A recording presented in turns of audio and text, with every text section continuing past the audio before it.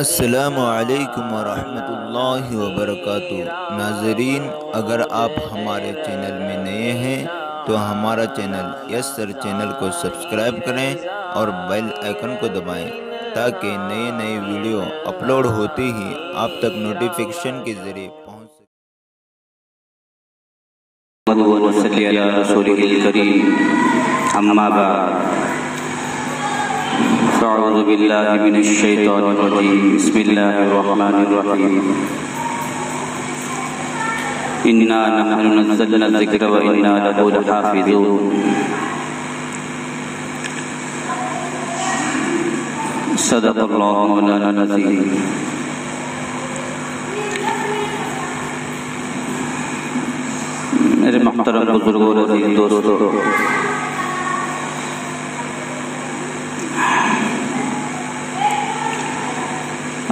अल्लाह तबारक ताला ने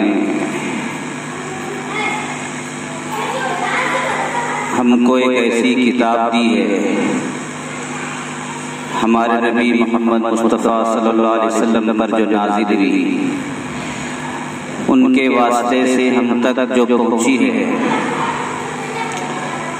वो कुरान पाक है। कुरान को अल्लाह ताला ने क़यामत तक के लिए इसके अहकाम इसके मसाइल इसकी तिलावत तमाम चीज़ें अल्लाह तबारक ताला ने क़यामत तक के लिए रखे हैं। बाकी इसके अलावा जो पुरानी किताब आसमानी किताबें थी अल्लाह ने उनको अपने एक ज़माने तक, एक वक्त तक मुतयन थी कि तब तक उनके अहकाम चलेंगे। उसके बाद अल्लाह ने उनको मनसूख कर दिया। जैसे तौरेत है, जबूर है, इंजील है। इसी तरह से और भी जो आसमानी किताबें अल्लाह ने पैगंबरों पर नाजिल की हैं वो एक ज़माने के लिए, एक महदूद वक्त के लिए थी। फिर अल्लाह ताला ने जब कुरान पाक को नाजिल किया है, उस वक्त तमाम आसमानी किताबों को मनसूख कर दिया। और जिस तरह से अल्लाह ने हमारे नबी मोहम्मद मुस्तफ़ा सल्लल्लाहु अलैहि वसल्लम को ख़ातमुल अंबिया बनाया है। इसी तरह से अल्लाह ताला ने कुरान पाक को ख़ातमुल किताब बनाया। है यानी जितने भी किताबें नाजिल हुई हैं, अब सब मनसूख हो गई। अब सिर्फ़ और सिर्फ़ कुरान पाक ही क़यामत तक के लिए नाफिजुल अमल होगा। इसी के मुताबिक पूरी दुनिया वालों को मुसलमानों को इस पर अमल करना होगा और क़यामत तक के लिए ये चीज़ बाकी रहेगी और इसको बाकी रहना, इसकी हिफाजत करना अल्लाह ने खुद ज़िम्मेदारी ली है।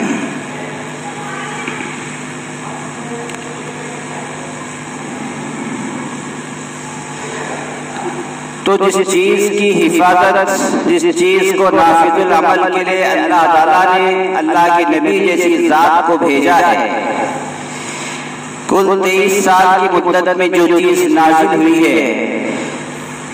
आप सल्लल्लाहु अलैहि वसल्लम की मेहनत से एक लाख चौबीस हज़ार से भी ज़्यादा सहाबाई कराम ने इसको कबूल किया। तेईस साल के अरसे में अल्लाह के नबी ने एक मुस्तकिल कौम दी मुस्तकिल एक ज़ुबान दी मुस्तकिल एक किताब दी मुस्तकिल एक कल्चर और तहजीब दिया। इस तेईस साल के अंदर इतने, इतना बड़ा इतलाब उस कौम के अंदर, जो इस कौम पर कोई भी दुनिया का बादशाह या दुनिया की हुकूमतें हुकूमत करने के लिए तैयार नहीं थी। हटधर कौम, जिद्दी कौम, जाहिल कौम। ऐसी कौम पर अल्लाह ताला ने अल्लाह के नबी को नबी बनाकर मबूस किया और ऐसी कौम को अल्लाह ने वो हिदायत दी अल्लाह के नबी के ज़रिए से कि रोए ज़मीन पर आज तक ऐसी कौम अल्लाह ने भेजी नहीं है जिसने पूरी दुनिया में इनकलाब बर्पा किया। ये अल्लाह के नबी का बहुत बड़ा कारनामा है कि अगर कोई ऐसे वैसे कोई मुल्क फतह कर ले फुला कर ले फुला कर ले ये कोई बड़ी चीज़ नहीं है। सबसे बड़ी चीज़ ये है कि अफराद को फतह करना। लोगों के दिलों को फतह करना अल्लाह ताला अल्लाह के नबी ने कुल तेईस साल के अरसे के अंदर एक लाख चौबीस हज़ार से भी ज़्यादा साबाई कराम को ऐसा बना दिया ऐसा ईमान उनके अंदर दाखिल कर दिया इतना उनका मज़बूत अकीदा हो गया और इतने अच्छे निखर गए सीरत के एतबार से किरदार के एतबार से हर एतबार से इतने मज़बूत और इतने मोतमद हो गए कि अल्लाह के नबी को कहना पड़ा तुम जिसकी मेरे साहबा में से तुम जिसकी भी इत्तिबा कर लोगे इक्तिदा कर लोगे तुम कामयाब हो जाओ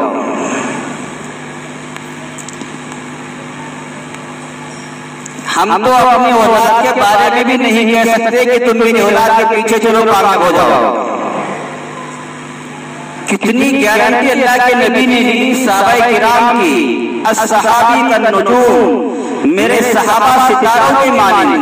और सितारों का जो काम होता है वो रास्ता दिखाना होता है। समंदर का जो रास्ता तय किया जाता है जो जहाज़ चलते हैं रात में आज भी वो सितारों के ऊपर चलते हैं।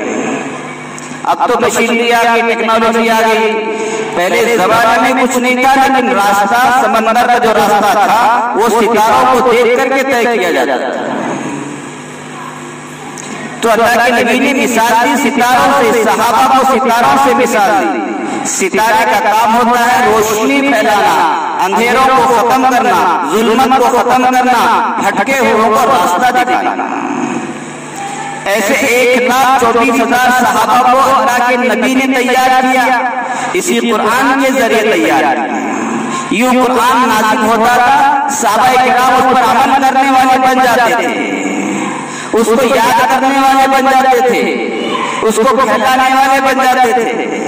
शराब का हुक्म नाजिल हो साबाई किराम ने अपने घरों से शराब को अपने नालियों में उंडेल दिया। ये कुरान की पाबंदी का आलम था। ये साबाई किराम के इत्तिबा का आलम था। इन्ना समियाना व अताना।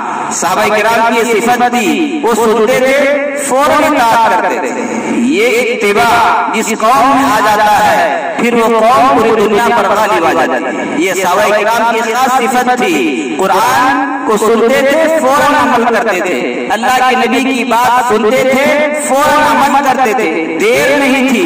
क्यों? किस लिए? क्या फ़ायदा? कुछ नहीं।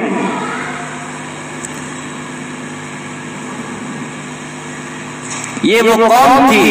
इस कौम की तकदीर अल्लाह ने अल्लाह के नबी की तरबियत के ज़रिए से इस कुरान के ज़रिए से बदली थी। जो कौम नंगे होकर के तवाफ किया करती थी। जो कौम अपनी बच्चियों को ज़िंदा ज़मीन में काट दिया करती थी। जो कौम एक मुर्गी के एक छोटे से जानवर के मर जाने की वजह से सदियों तक जंगें लड़ा करते थे। अगर किसी का ऊँट उसके ऊँट से पहले पानी पी लेता था इसी बात पर लड़ाइयाँ हो जाती थी, ये ऐसी कौम थी।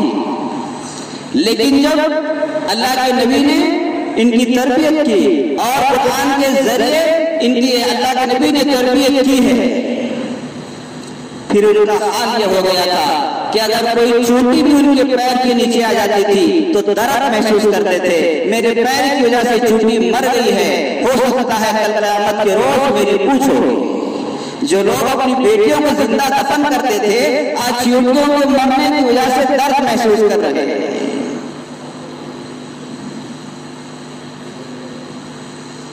ये वो कुरान है, जो दिलों पर नाजिल होता है।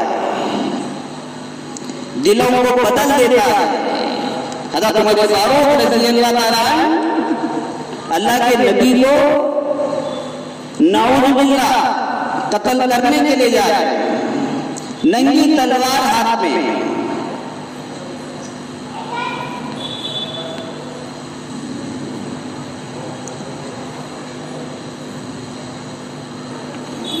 जा रहे अपनी नीयत के साथ। रास्ते में मुलाकात हो गई। कहाँ जा रहे हैं? आज मोहम्मद का सर लाने जा रहा सुना है वो, उसने बहुत शोर मचा रखा है। सुना है उसने बहुत इंतज़ार किया है। कौन कह रहे हैं? हज़रत उमर फारूक रज़ी अल्लाह अभी ईमान नहीं लाए उन साहबी ने कहा, अच्छी बात है, वो तो बात नहीं कर लेना। पहले अपने घर जाओ, वहाँ की खबर लो पहले। अपने बहनों के घर जाओ। वहाँ की खबर लो वहाँ देखो क्या हो। रहा है। कहने अच्छा? ऐसा है? अल्लाह के नबी का रास्ता छोड़ करके बहनोई के घर गए। बहनोई के घर पर जाकर देखा तो दरवाज़ा बंद है अंदर से आवाज़ आ रही है। किसकी आवाज़ आ रही है? तिलावत कलामुल्लाह की। कुरान ये आवाज़ आ रही है। सूर्य ताहा की आवाज़ आ रही है। हज़रत उमर बाहर खड़े हुए उस तिलावत को सुन रहे हैं। अजीब आवाज़, अजीब तिलावत। वो कुरान है जो दिलों को चीर के अंदर दाखिल हो जाता है, जो दिलों को बदल देता है।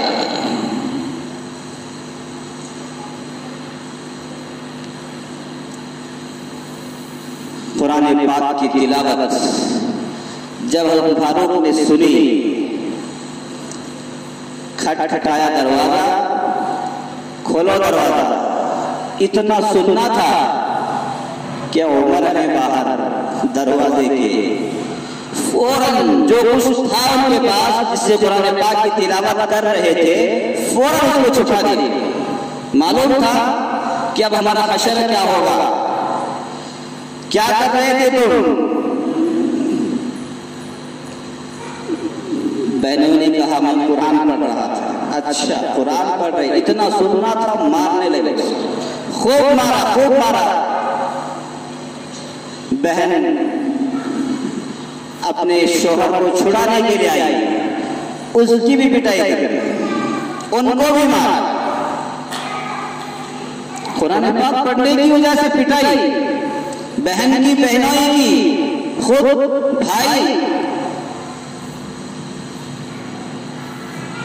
आखिर में जब मार लिया।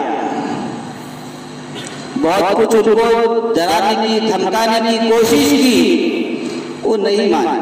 नहीं, हम नहीं फिरेंगे। हम ईमान नहीं छोड़ेंगे। हम कुरान को नहीं छोड़ेंगे। हम पढ़ते रहेंगे। हम इस पर ईमान ला चुके हज़रत फारूक कहने लगे, जरा मुझे दिखाओ तो सही हो।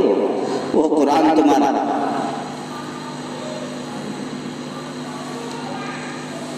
ये वो तब्दीली थी। हज़रत उमर फारूक रज़ी अल्लाह ताला वो लंबा किस्सा है, उधर भी जाना। आप ऐसे हाथ नहीं लगा सकते। आप वज़ू करें, तब आप पाक होंगे तब उस चीज़ को पकड़ सकते हैं। जब उसका एहतमाम हुआ, जब उनकी अहमियत उनको बताएगी, जब उनको पता चला इतना पाक कलाम है, उनके दिल में असर तो तभी हो गया लेकिन एक जज्बा सवार था, एक जोश सवार था। जब वो जोश ठंडा हो गया, तब महसूस होने लगा, ये कोई गलत चीज़ नहीं। ये हक है, ये गालिब आकर के रहेगा। चुनाचे उसी नंगी तलवार को या बहन बहनोई को पीट करके, मार करके, अल्लाह के नबी की तरफ़ जब चल पड़े हैं नंगी तलवार लेकर के, अल्लाह के नबी सामने से देख रहे हैं कि ऊपर आ रहा है।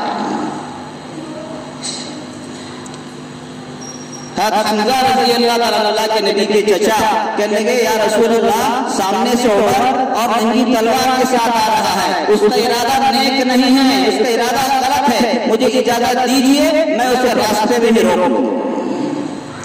मालूम होता है, हज़रत उमर को रोकने वाले भी थे। अल्लाह के नबी के चचा के घराने में थे। अल्लाह के नबी सब बहादुरों के बहादुर थे। अल्लाह ने अल्लाह के नबी को सबसे ज़्यादा ताकत दी थी उमर जैसे करोड़ों हो जाए अल्लाह के नबी का मुकाबला नहीं कर सकते। थे अल्लाह के नबी ने कहा, उमर आ रहा है तो आने दो। ये नहीं मुझे बचाओ जाओ करो, उसको उसमें काम तमाम कर दो। आने दो। ये होती है बरदानी ये होता है ईमान। हम समझते हैं नबी ऐसा होता है, कहीं कोने में बैठ करके बस तस्वीर पढ़ता रहता है। नबी की ज़िंदगी उठा करके देख लो, अल्लाह के नबी ने सत्तर से ज़्यादा गजवात किए।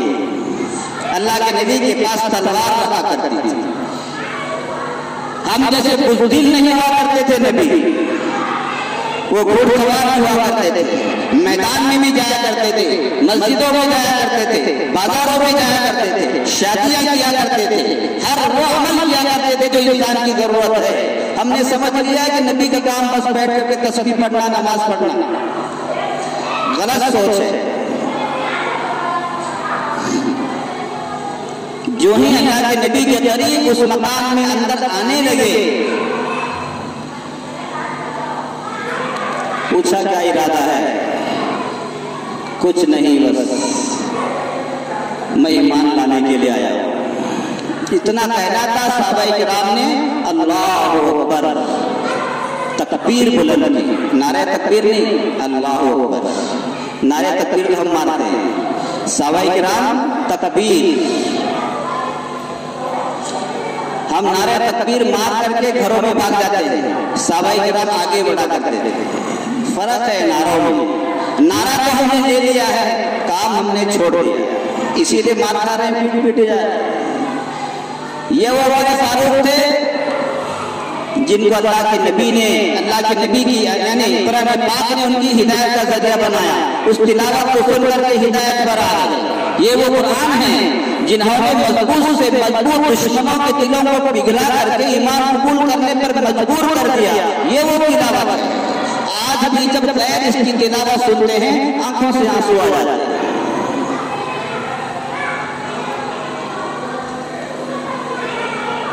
कुरान को समझने की ज़रूरत है। कुछ तीन किस्म के लोग ऐसे हमारे जमाने में पैदा हो गए हैं, जिन्होंने ऐसे ऐसे मुतालबे किए मैं सिर्फ़ आपको ये बात बता रहा हूँ ताकि आपके अंदर अहमियत आ जाए कुरान पाक। ऐसे लोगों से डरने की लोगों के बयान को ध्यान देने की कोई ज़रूरत नहीं। ऐसे सबसे पहले भी बहुत लोग आए सन सैतालीस से पहले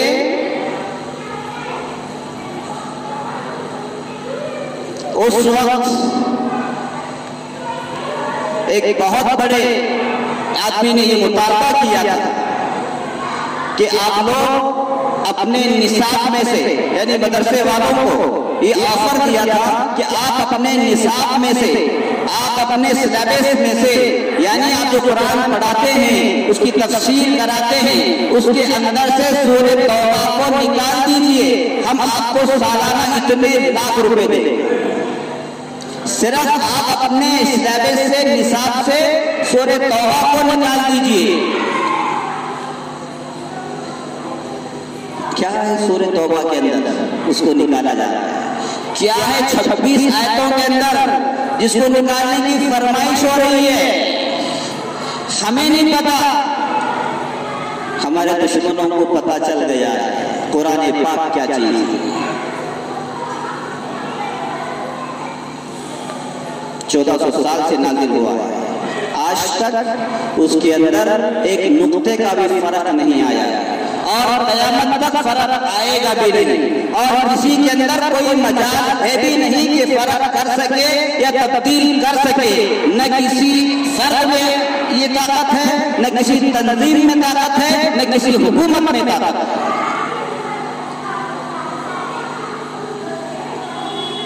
सूर्य तौबा की फरमाइश की थी। मदारिस वालों ने कहा तो सूर्य तौबा की बात कर रहे हैं, उसमें से एक नुकता भी हम नहीं निकाल सकते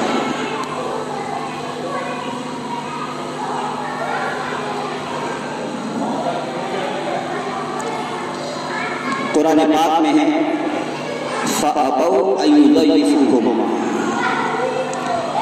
मूसा सलाम एक कश्ती में गए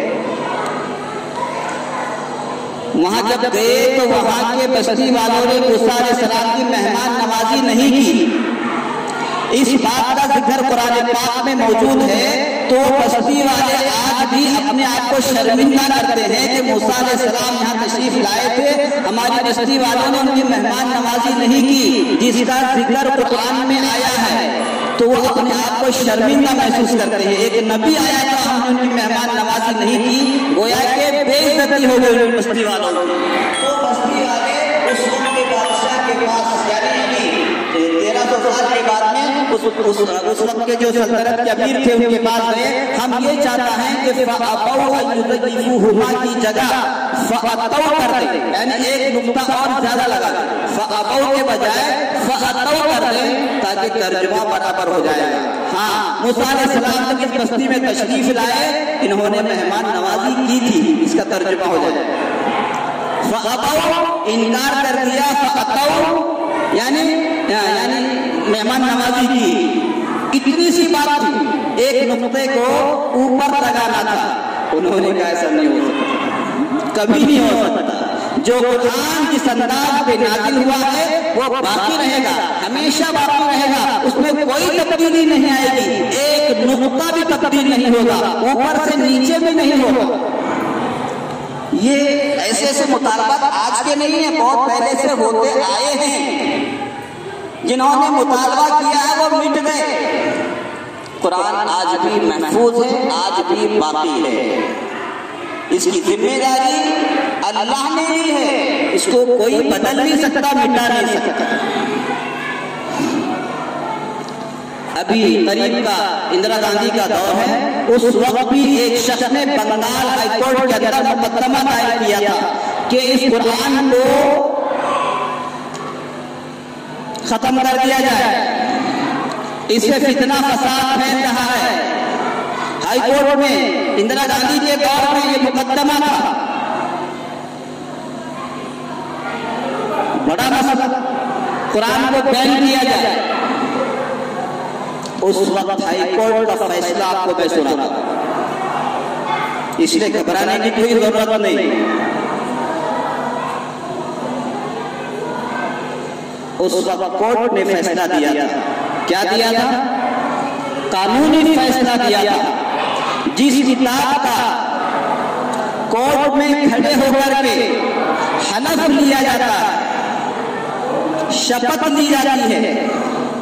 देखा है ना, जब मुजरिम खड़ा होता है, वकील खड़ा होता है, जज सामने होता है तो आखिर में जज क्या करता है? मुजरिम को सच्चा मनवाने के लिए अगर वो मुसलमान है तो कहता है, ठीक अच्छी बात है, अब कुरान पकड़ करके कसम था अगर वो हिंदू है तो पर हाथ रख करके कसम खिलाता है। अगर वो ईसाई है तो बाइबल पर हाथ करके कसम खिलाता है तो उसके बाद वो आखिरी फैसला हो। तो उस वक्त कोर्ट ने फैसला दिया था, जिस किताब पर हाथ रख करके शपथ दिया जाता है, कसम खलाई जाती है, उन किताबों को तब्दील नहीं किया जा सकता। कोर्ट का फैसला। कोर्ट का फैसला है, किसी और का नहीं, बिल्कुल सही बात। जिस किताब को कोर्ट ने तस्लीम किया है कि अगर तुम हाथ रख के कसम खाओगे, तुम सच्चे हो। अच्छा फिर कोर्ट उसको बदल दे। उस पर बैन लगा के ऐसा नहीं हो सकता। ये फैसला इंदिरा गांधी के दौर में बंगाल के अंदर हो चुका है और कोर्ट ने फैसला सुना दिया है। जो किताबें, जिन किताबों पर हलफ दिया जाता है, शपथ ली जाती है, उनके बारे में कोर्ट कोई फैसला नहीं कर सकता। अगर कोई मुकदमा दायर करेगा, केस दाखिल करेगा, उस केस को खारिज कर दिया जाएगा। सियासी मसला है। अपने आप को मशहूर करने का मसला है। अपने आप के ऊपर जो केस लगे हुए हैं। उनसे ध्यान हटाने का मसला है। इसलिए हमें मायूस होने की, परेशान होने की कोई ज़रूरत नहीं है। उम्मीद है कि इंशाल्लाह इस केस को वो कोर्ट खारिज करेगा। इसलिए कि कानून के खिलाफ ये मजहबी किताब है, ये धार्मिक किताब है, इस पर हाथ रख करके कसम खाई जाती है कोर्ट के अंदर। लिहाजा इसके अंदर तब्दीली हो ही नहीं सकती। और ये तो वैसे भी अल्लाह का कलाम है। ये तो किसी और का बनाया हुआ कलाम नहीं है, किसी इंसान का बनाया हुआ कलाम नहीं है। इसमें कभी तब्दीली नहीं इसलिए मेरे दोस्तों, इस तरह के हज़ारों वाकियात हैं। ये होते हैं, होते रहे हैं, लेकिन कुरान में कभी तब्दीली नहीं आई। यहाँ तक आखिरी हदीस शरीफ में आपको सुनाता हूँ। अल्लाह के नबी ने फरमाया, कयामत से पहले, यानी कयामत के चालीस साल पहले, अल्लाह ताला कुरान को अपने पास उठा ले। अपने पास उठा लेंगे दोबारा। अल्लाह ही ने नाजिल किया था। साल पहले कुरान पाक को अपने पास उठा लेंगे उठाएँगे तो तभी जब वो महफूज रहेगा। इसका मतलब ये है कि अल्लाह उसको महफूज रखेंगे, तभी तो ऊपर उठाएँगे। तो ये तो अल्लाह का वादा है। इसलिए मेरे दोस्तों, ये कुरान पाक हमारे पास से निकलने वाला है, ऊपर जाने वाला है इसको वापस देंगे। इसलिए वापस देने से पहले हमें कुरान पढ़ने वाला बनना चाहिए। कुरान को सीखने वाला बनना चाहिए। कुरान पर अमल करने वाला बनना चाहिए। अगर हम कुरान की तालीमत के मुताबिक अमल करेंगे, ऐसे दीन कभी भी सर नहीं उठा सकेंगे। ऐसे के ऐसे लानती किस्म के लोग कभी भी इस किस्म के मुतालबा नहीं करेंगे। इसलिए हमें चाहिए कि हम कुरान के मुताबिक अपनी ज़िंदगी को गुजारें, अपने घरों को बनाएँ, अपने मेहमानों को बनाएँ, अपनी बस्तियों को बनाएँ, पूरे आलम में कुरान पाक का निज़ाम कायम हो, उस नीयत के साथ में कुरान पाक को पढ़ेंगे तो इंशाअल्लाह ये कुरान महफूज रहेगा और उसकी हम हिफाजत करने वाले बनेंगे। जो कुरान पाक की हिफाजत करने वाला बनेगा, इंशाअल्लाह कल कयामत के रोज जब अल्लाह ताला चालीस साल पहले कुरान को उठाएँगे, उसके साथ अल्लाह ताला हमको भी ले जाएगा। इतनी बड़ी बशारत है। इसलिए मेरे दोस्तों, ऐसे हालात आते हैं। घबराने की कोई ज़रूरत नहीं, इंतज़ार करने की कोई ज़रूरत नहीं, एहतजाज करने की कोई ज़रूरत नहीं। ये तो कोर्ट के कानून के मामला हैं। इंशाल्लाह ये सब हल हो जाएँगे। बस हमें कुरान पर अमल करने की ज़रूरत है और अपने आप को शांत रखने की ज़रूरत है। अपने आप को अमन के साथ रहने की ज़रूरत है। अल्लाह हम सबको अमल करने की कुरान पाक के मुताबिक ज़िंदगी गुजारने की तौफीक नसीब फरमाए। सुभान अल्लाह वबिहम्दिही सुभान अल्लाह